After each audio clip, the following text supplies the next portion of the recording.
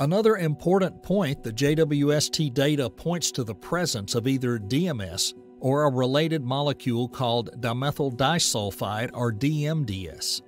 DMDS has a similar spectral fingerprint in some wavelength ranges and can form through chemical reactions in an atmosphere containing DMS. For example, dimethyl sulfide can oxidize or bond to form DMDS. Therefore, the detection may be some combination of these sulfur containing compounds.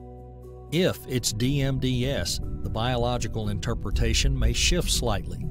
This molecule can also be produced by life on Earth as some plants and microbes emit it, but it can also arise abiotically through photochemistry involving other sulfur species.